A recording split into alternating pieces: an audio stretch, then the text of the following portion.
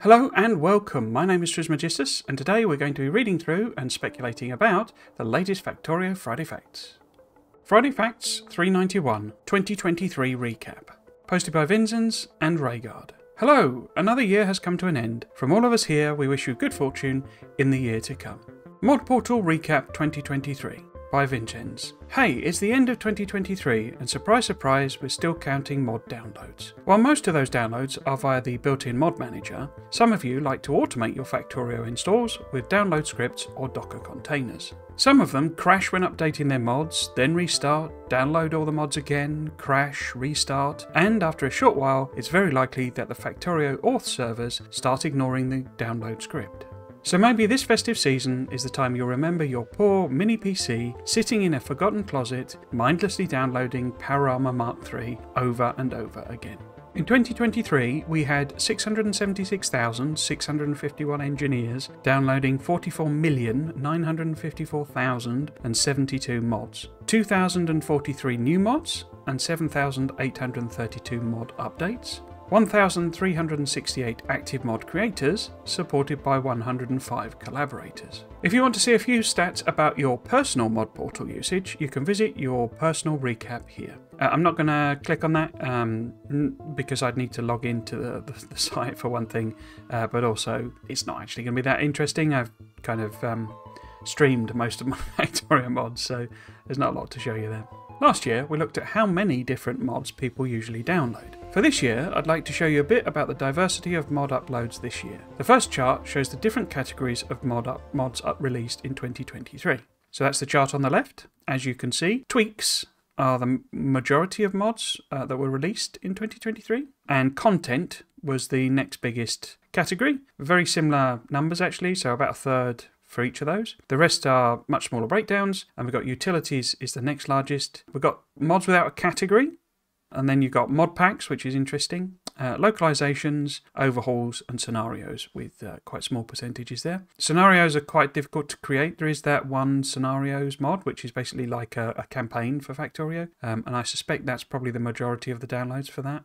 But it's interesting that tweaks are the biggest update, uh, biggest number of mods released. Released. I guess that partly reflects the fact that uh, the game is so mature. But saying that, you've then got the next category is content. So um, clearly, a lot of people feel that they were they're quite hungry for extra content, which is you know a good sign that the the um, expansion will do quite well. The second chart shows all the 2023 player downloads grouped by mod category. It confirms the cliche that people are only here for the content, and I should have prepared these charts for mod tags instead. So the chart on the right is uh, the second chart, um, downloads per category in 2023. And we see that, as was mentioned, 51% of the downloads are for content downloads. That's obviously disproportional to the, the number of mods that were up, up, you know, made available. But interestingly, utilities is the next biggest and it's only third for the tweaks. So, although tweaks are the most published mods, it's the tweaks that are only in third place. I suspect that's probably because there are a lot of tweaks that are essentially the same. I, I mean, I, and I've seen it before that there are quite a few tweak mods that basically mod existing mods. So they'll make a tweak like making angels, I don't know, easier or something like that. But you also then get quite a lot of repeats of those same tweaks. Um, which you know I say is makes the mod portal a bit bit tricky to navigate. If I'm honest, you get a lot of mods that are kind of you know pointless or really only you know for edge cases of of a particular you know mod. I suspect if you take this out, if you took out tweaks, the grass would look a bit sim- bit more similar. But yeah, we'd have to we'd have to kind of work through that. And I guess it also depends slightly on what they mean by released. So if you update your your mod pack, does that count as a new release? I suspect it probably does. Um, but then also, you know, as we know, people want more Factorio. Basically, you finish the game, you, you, know, you want more of it, and you probably also want some tools to help you with bits that you personally didn't didn't like or felt were a bit pointless, that sort of thing. Mod Portal Changelog 2023 by Vinzent. This year, we continued our quest of improving discoverability. First, we added the Automagical Highlights page. Every week, it tries to be smart about picking an interesting selection of mods. It works okay, but is still in, an experimental stage where we haven't decided where to take it next. So this is the highlights page. I'm going to be totally honest. I didn't really even know this existed. Right, it's not mentioned as a Friday Facts. Maybe they just did it. But yeah, I don't remember this. Um, I think I might start checking it out, to be honest with you, because there's some interesting mods I've never kind of heard of. Bob's Logistics, that's a fairly sample one, but Fuel or Exotic Industries. So, yeah, so popular mods in the scenarios category, great mods tagged with storage, top mods in the tweaks category. So yeah, so it looks like it recommends a bunch. I mean, it's got loads and loads of pages here as well, look, up to 51, which I assume means it basically recommends them all. But yeah, I didn't I didn't really even know this existed. I mean, maybe I did, but I'd forgotten about it. I don't know. A bit later, we reworked the mod portal search and launched the explore page. It provides a fast search as you type experience with Facesting. Don't really know what Facesting is. Um, it's a, I looked it up on Wikipedia. It seems to be something to do with polygons, but uh, I don't know that one. But this is the explore page. But yes, you know, it gives the you know the categories, and I'm assuming the Facesting is something to do with the search algorithm. So if you wanted to search for, I don't know, um, well, there was that other one, so fuel or something like that, um, then it's presumably doing um, a smart search of some description. We also did quite a bit of behind the scenes work, some of which I want to highlight here. When Imgur started deleting images in April, Sanqui built a system which automatically rehosts external images posted on mod pages or discussions, thus preserving old screenshots and improving load times. So the link that's there is just a link to a, news article, uh, basically explaining, you know, Imgur started deleting random you know, untitled and basically explicit content from its site. To reduce costs, we migrated the explore page from Algolia to Meilisearch. Miley Search? MileSearch? MileSearch? I don't know either of those. I assume they're alg- algorithms or hosting sites, maybe. We've changed our mod storage from an SFTP based solution to a S3 like object storage. This should improve the availability of mod uploads and endpoint. And this is just linking to some people who've got the, the error uh, that they weren't able to upload their mod, basically. So these are all back end things, really. Um, I confess, I've never done any web stuff. I've never done any web development. Um, so I'm able to chip in a bit and give some interpretations of more like pure code things. Web stuff is is not just something I'm just not familiar with at all. So so yeah, I'm lost with some of these, but but yeah. So it, you know, basically just highlighting they've done some some back end improvements.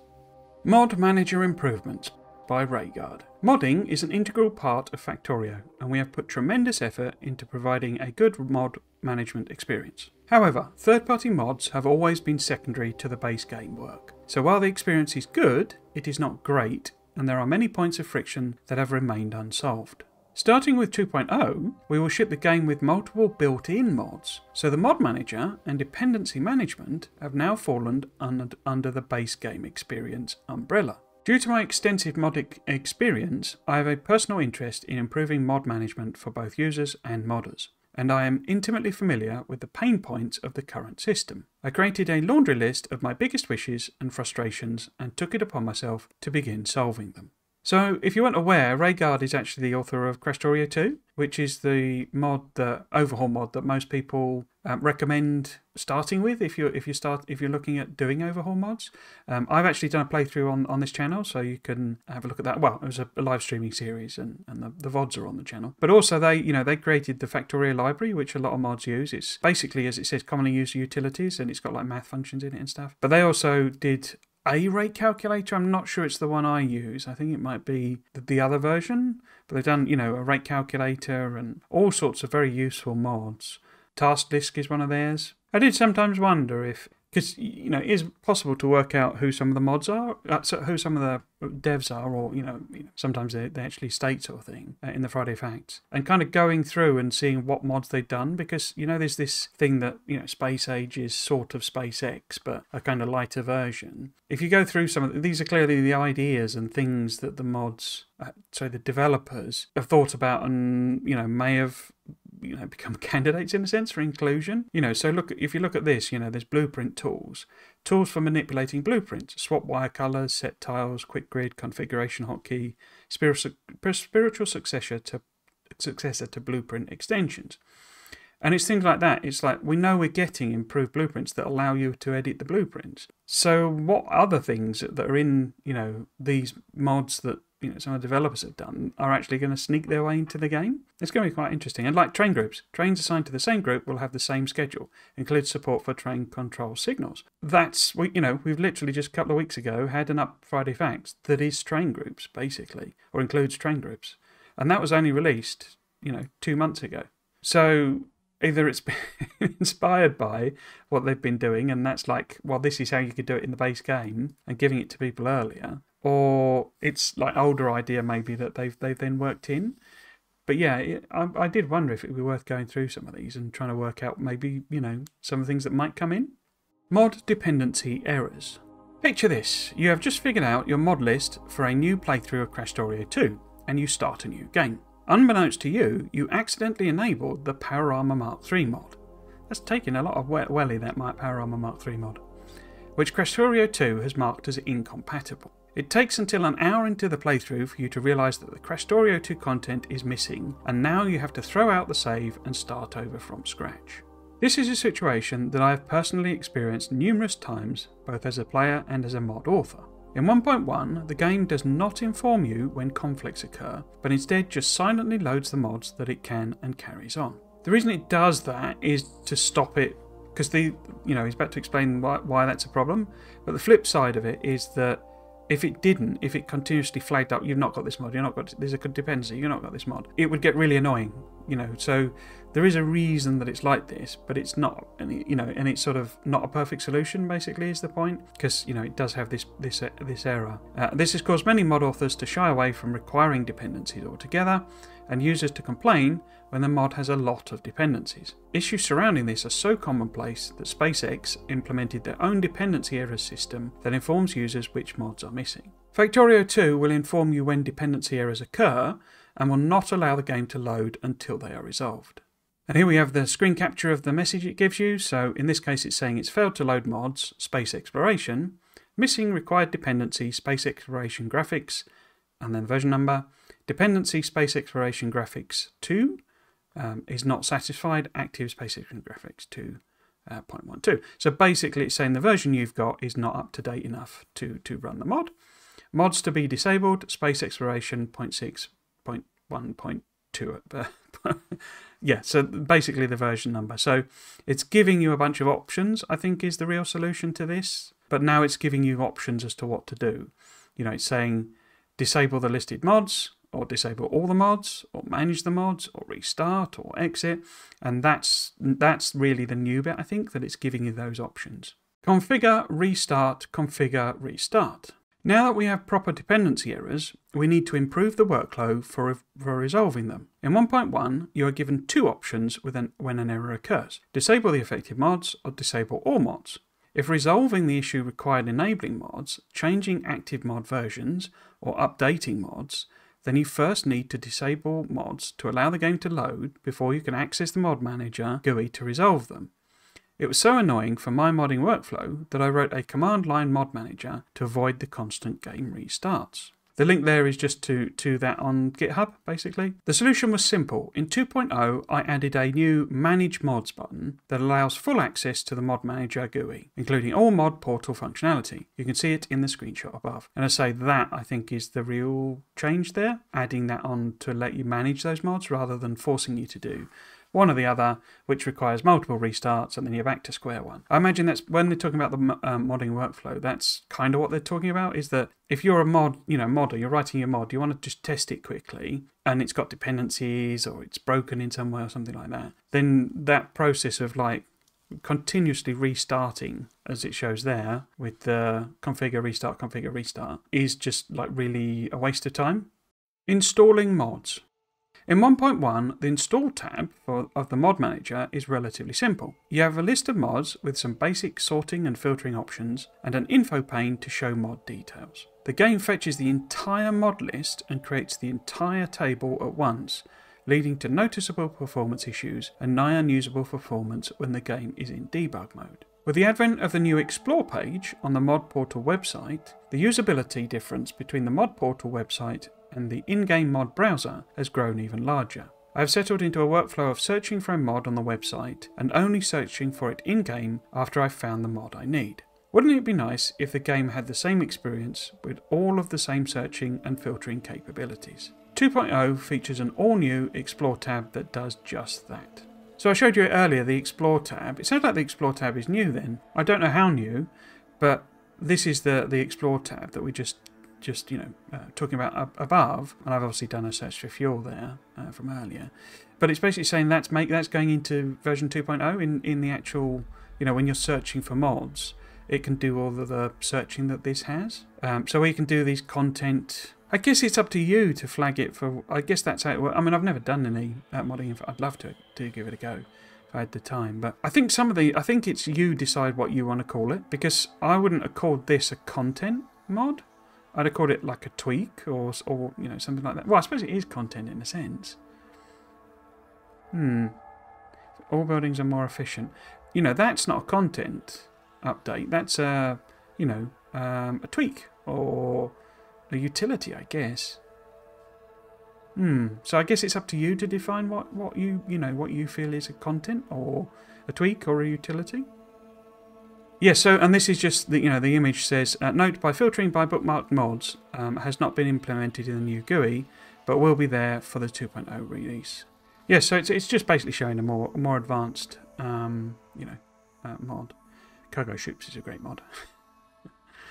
There are several considerations I had to make when implementing this new interface. The 1.0 method of fetching the entire mod list every time was not a great solution for performance and network usage reasons, and would involve re-implementing the complex search algorithms client-side in C++. This would lead to inevitable differences between the website search and in-game search, which would not make for a great user experience. On the other hand, implementing a mod portal search API would ensure parity between the website and in-game search results.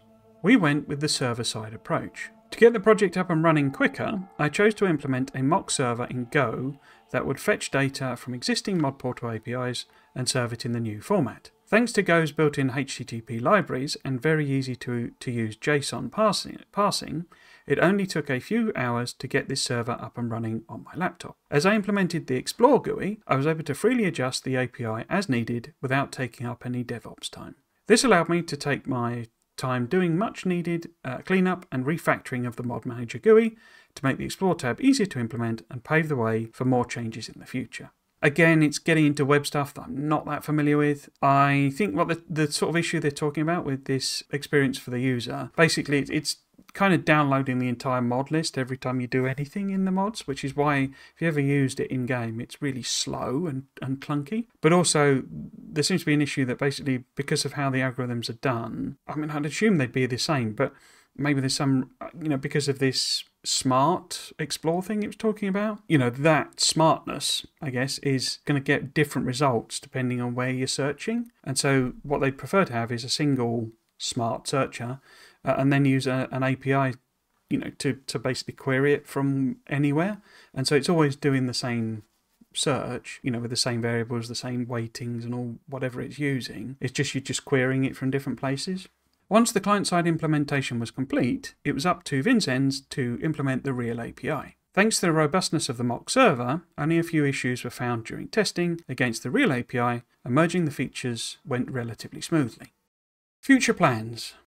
I feel that these changes have fixed my largest grievances with mod management. My laundry list is far from complete, but in the interest of getting 2.0 out to you all as soon as possible, the majority of my plans will have to wait until later versions. Stay tuned for more to come. As always, send post requests with your feedback to the usual places. That's a bit inside baseball, that one, uh, that reference, because a post is, is an API term basically. So if you, um, there's basically fetch and post. So an API is an application programming interface, um, and essentially it's like a way in which you're. It's, it's it depends how you want to define it, but basically an API is like a block of code essentially, and it will do certain functions, you know, return certain values, accept certain values depending on how you set it up. And basically the standard ones are like, you know, post and, and, and fetch. And fetch is literally, you know, send me the data, and post is you're sending it data. Um, so that's you know that's that's what that gag is basically. That post request is just used you know as if you were an API and you were posting uh, data to the API, and it would you know go onto the forum because you were sending the the data to the API. Okay, speculation. So I'm, I'm kind of aware. I'll be honest. I was expecting some kind of post like this for the the Factorio, for you know, for the Friday Facts for this week between Christmas and New Year. They've kind of done roundups before, and uh, and on based on you know looking at the, the mod downloads. So I didn't, I hadn't guessed it would be this, but I remember seeing these before, and it wasn't unexpected that we get something like this. So it's not really new, you know, space age content. It's an update to the to the mod portal. I think this all sounds really good. In terms of speculation, so it's really difficult to speculate about this. One of the things I did think is that, you know how we're getting lots of groupings, so we're getting logistics groupings and train groupings. That would be very useful, I think, and it's effectively mod packs, but like a way of doing it almost more officially. Krastorio 2, I think, has a, even that has a couple of, you know, parts to it, but you know, bobs and angels and those sorts of things. Being able to more easily show, particularly when you search for bobs or angels, you want the you know the base mods, you know, by you know Archangel three whatever it's six six six and uh, bobingabout. They're what you want. I guess you may, with the search, be able to search for users' names. It doesn't look like it, but you know, maybe you know, maybe I'm wrong on that. But it would be good, for, you know, if Bob could basically, you know, and or Angels or you know, Raiguard for Krastorio 2 could uh, effectively create, I don't know about tagging, but like a grouping system so that you can get all of the mods in a particular group. And I say is sort of mod packs, but you know, they're a bit rubbish, and a lot of them are done by people who want to include extra mods in their playthrough. So you can sort of do it with tags, maybe, and you could work around the system, but some sort of, particularly for overhauls, you know, sort of grouping them together with with other mods that you want, you know, in in your particular you know set. Some sort of, um, shall we say, moderation on what people you know classify things as would be good. I don't know how you would do it though. It would it would take quite a lot of time, I think, uh, for you know to do them. The sort of problem with the mod portal for me at the moment is there's just so much on it. Um, and I guess this explore thing, I hadn't realised this, you know, this is new, but something like this that, um, you know, the highlighted mods maybe that um, let you sort of see more quickly what's going on because there are literally, what, thousands of mods now? Um, and a lot of them are the same thing. And it's sort of, it's great, but it also makes searching it and working, you know, working out what you want a real pain. So yeah, that was all I really had for the this week's Friday Facts. I, I couldn't really think of a lot to speculate about. I say there is the thing I mentioned that I might do is go through some of the uh, developers and see what mods they've introduced. Given that you know Raiguard's basically introduced the the train groups thing, which we know is coming in version 2.0. So there may be a few little hints in there, but it would take quite a long time I think to go through that. What I did want to pick up on, just to finish this off, is that in last week's video I'd so, I'd actually spot I cut it out. Um, I'd spotted that certainly this building didn't wasn't familiar to me. So this is uh, obviously last week's uh, Friday Facts, and there's a building here on the right. Can I zoom in anymore? I think I can. Uh, the building on the on the left here, sorry, um, which is I think is the blue building from the tease. So when we got this tease, I think this building here is this building here. Um, it's a slightly different design to it, ish, but that's what you'd expect. You know, this is an icon, I think, from the, you know, when you're doing the research or whatever, or, you know, when it's showing you the in the menu in the game. And then this is the asset in, in the game world. Yeah, the big difference is that this doesn't have the what appears to be some kind of arm on it. Um, this appears to be some sort of arm uh, that you know is on the front of it. But if you look at this sort of detail here, with the you've got a couple of wires in the thing, um, with the the sort of um, what do you call it like sticking outy bit you know that that is. Then you've got this sort of shape here almost sort of a you know a curve to it. Or it's actually two two straight two bits and it's that. Um, you've uh, got you know that sort of vertical part there which I think is underneath that. To me it just looks a lot like this here but with an arm in front of it of some description. Now that could be a new thing in and of itself because, I mean, we can't see it. You know, it's having an inserter go, you know, putting stuff into it, but it could be some sort of built-in inserter or something like that. The other one is this one on the bottom here. This is less clear because you've got pipe type work that is reminiscent of, you know, fuel, uh, sorry, oil refineries and chemical plants and stuff like that. Um, and as I say, I did spot this when I was doing my original notes, but I then sort of went, eh, maybe I just can't tell what it is. Um, but then as I was going through the, you know, the edit, I was like, that is definitely a new building. And then I realised this one was was new as well. Now, given we've got the foundry here, this is, you know, the foundry, and we've known we know about the foundry. We've got that image there, and notice obviously as well, this is like conceptually what this is. You know, you've got that pipe shape there, yeah, that pipe shape there, but it's not exactly the same, and that's why what leads me to think that this is this building, because it's not exactly the same, but it's sort of conceptually the same sort of uh, idea. The other new one was this one down here on the on the bottom bottom left, um, and I suspect that's the green building because you know we've got the orange building, the blue building, and the green building. I think this is much more different to this, and that's why it's more speculative. But look at this pipe shape here, this curvy pipe going on there, and then this has got the curvy pipe. I, you know, I think it's a new building.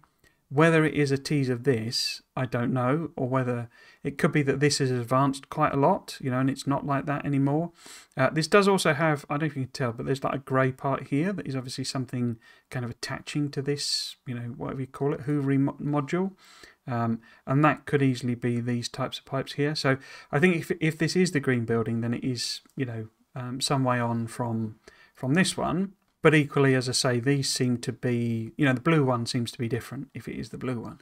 If they're not the blue and the green building, if there's something else, then I still think they are teases of a new of new buildings. You know, be they different new buildings to the one we've already seen. Um, the other thing is, I'm not sure if this isn't new as well. This could easily be the like the other side of this. So if you imagine that structure is kind of, you know, here maybe. So it could well be part, you know, the other side to this. I, you know, I've, that's a real guess. We've got too much snow on it and, and other things. So yeah, I, I suspect, you know, we're just getting teased these new buildings, but this could be something as well because I did not recognize it, but we're seeing so little of it you know, it could just be a, a, chemical plant or something like that that I just don't recognise. But I'm what I say, I'm mine, you know, having because one of the things I, I, I posted on Reddit a few times, sort of saying there are these new buildings, and nobody was really had, had said anything on Reddit. But then I looked on the Discord, which I don't I don't tend to hang out on Discord, and people had you know seen them and speculated about on there. So it wasn't I wasn't going completely mad. That was what I was a bit worried about. Um, in that nobody say when no one's posting on Reddit about something, you sort of tend to think, well, am I just seeing things? Is that you know my imagination? Uh, but yeah, I think these are the new buildings. The bit I would add as new, and I say I, so what I did, I chopped it into the edit because it was already like nine o'clock when I was I was adding that in. So I just thought I'd talk about them here. One of the things I would sort of point out, I mean, this might not be attached. It might be a separate thing. It, in fact, it may probably is because you know of where that is. But this looks like it's attaching to a chemical plant, the green one. So that tends, and this does look fluidy. So it looks like green may be something to do with you know fluid processing in some way, and the and the blue one, as I say, just you know no real in, indication. But we do know that whatever's on this belt is being put into an assembler and then put into the blue machine. So that suggests that it, whatever it does requires some pre-processing in some description, just as this requires some. Excuse me. This would be heavy oil. Well, we can now we're going to be able to flip oil refineries. So we don't definitely know what it is, but if that was like heavy oil being turned into lube and then turned into something else, maybe I don't know. So that's one one thought on it. I am going to work on the extra, you know, the wild speculation video. I've not managed to find the time to do that um, during this this period. It took me a long time. I basically did all the new setup. This is, you know, the first one for my new setup uh, with the the good camera, so you can see how pale I am. Actually, the again, camera distorts my color and makes me seem healthy. um, so, uh, and that's just taken ages, and I'm I'm not finished. There's a whole pile of junk over in the corner there that I need to sort out. But yes, so that video will happen, but it's going to be a while, I think. But yes, so the other thing I did want to point out, just as an extra piece of speculation, and it's not really speculation, I think, it's more a logical deduction, is that, you know, this was the foundry, okay, and it's orange, and it turned out that what it was doing was giving us, effectively, giving us extra production, okay. We've then got a green building and a blue building. Now, in the game, that orange, green, blue trifecta, that orange, green, blue pattern is orange production, green efficiency, and blue speed. Okay. Now you could kind of then think, well, if this is an electricity thing, you know, overclocking, more power, it could be something to do with that. It could be something like that. I still think they're they are all production buildings, and so what I suspect is that this is actually uh, well. First off, I think this is on the Lightning Planet, um, and I think this is on the bioplanet, and this is obviously on Vulcanus, the production planet. And I think what it gives you is aluminium as a resource. I think it processes aluminium because the aluminium uses electricity in the real world. But also, I think that is then used in some speed related way. There's, this has an inherent speed boost to it. So, where this is, has an inherent production boost, this has an inherent speed boost and this will have an inherent efficiency boost. And the reason I think that is, you know, you've got lots of spare power, presumably, on this lightning planet that we're all speculating about. And so that is like the way of harnessing electricity in this building that when it gets zapped by electricity or maybe there's a you know a lightning rod or something like that that gives you a massive boost to its its speed of production for a short period of time. Um, and you can use those lightning blasts to zap production and, and it will be an inconsistent speed. So it'll produce maybe one a minute just as a random number. And then when it's zapped by electricity it produces two a minute. And the efficiency one is more difficult to guess. I think I say that's on the, the bioplanet. And I don't know what it processes. I think it processes something organic or you know oil based or something like that it's fluid based production what that means in terms of efficiency, I don't know. The only thing I could think of was that I, and I say I don't know what would trigger it is the thing because of the because it's this alien life form planet. I, I say I don't know what the triggering thing would be, and I say it's more difficult to see. But I think it's like it, ineffectively it's the inverse of this because efficiency really is about reducing power production, and I suspect that this planet is like meant to be really hostile, and perhaps it's you know one of the furthest from the sun or something, or you know it's quite far from the sun maybe, and so it doesn't let you do much solar. They were also talking about last Friday Facts about using those bridges and you know islands, and I what that was a random thing they seemed to be talking about, and I wondered maybe if this planet always produces islands rather than big continents. You know, even if you set the water to really high, uh, really low, it'll still produce islands of you know with lots of water on, and therefore you don't have much space without being able to do like tons of landfilling, uh, and maybe it doesn't have stone on it, so that's really difficult. And therefore, what you really want is you want as much stuff out of as little power, you know, demand as possible. So, you know, you can't build great big power production areas because you can't really landfill the place and you're better off using the land for production. And it could involve sort of some sort of gardening mechanic if you think about it from that point of view, in that you you want this land to be wild land because that's how you get the trees or what have you that produce the resource. Therefore, you don't want to landfill. You know, you don't want to completely cover the place in solar panels because then you'll have no no you know no resource to to to use I mean, it could could be fluid wells. You know, it could be everywhere is covered in oil, sort of thing. Um, would be the equivalent, and so you don't want to, uh, you know, uh, put solar panels all over your, your oil. And so that's why you want efficiency, because you want as much production out of as little power generation as you can. It's a bit thin, I think. but I, you know, there also seem there's been a couple of times where they've talked about using efficiency modules. And I think it's something they're trying to fix in the game, in that efficiency, nobody uses efficiency for anything, basically. And I think they want to basically force everyone to have some reason to use it. You could not do, but you know, um, some reason to use it, and I think that's it. So that's a sort of a, a, preview speculation because there wasn't much to this in terms of speculation. That's a preview of the type of thing I'm going to talk about in the main video that I'm working on. Hope you enjoyed today's Friday Facts video and might consider coming back for another one. If you want to chat about the latest Factorio Friday Facts, then you can find me live streaming Factorio every Saturday over my Twitch channel at Trismugistus. Thanks for watching. Cheers.